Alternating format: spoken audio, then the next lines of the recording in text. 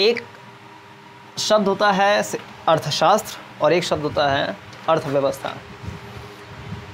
अर्थशास्त्र और अर्थव्यवस्था का एक लाइन में अगर अंतर समझे तो ये है कि अर्थशास्त्र वो एक विषय का, जो कि धन से संबंधित विषय है, उसके जो सिद्धांत हैं, जो नियम हैं, उसका अध्ययन होता है।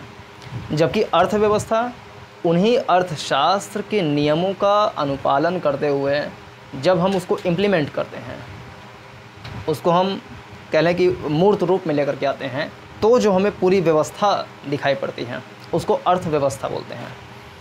इसका मतलब ये हुआ कि अर्थशास्त्र सैद्धांतिक पक्ष होता है, जबकि अर्थव्यवस्था व्यावहारिक पक्ष होता है। अर्थशास्त्र नियमों और सिद्धांतों का अध्ययन होता है, जबकि अर्थव्यवस्था उन सिद्धांतों को अपनाने से संबंधित अध्ययन होता है।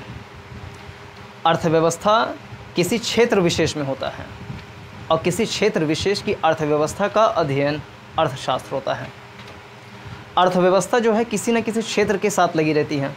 उसका जो इकोनॉमी है, वो किसी न किसी एरिया किसी न किसी प्रदेश, राज्य, देश के साथ लगा होता है या पूरे विश्व के साथ लगा होता है। जबकि इकोनॉमिक्स जो होता है अर्थशास्त्र, वो एक तरीके से इंजन का काम करता है। अर्थव्यवस्था की गाड़ी उसी ट्रैक पे चलती है, जो ट्रैक अर्थशास्त्र के द्वारा बनाया जाता है।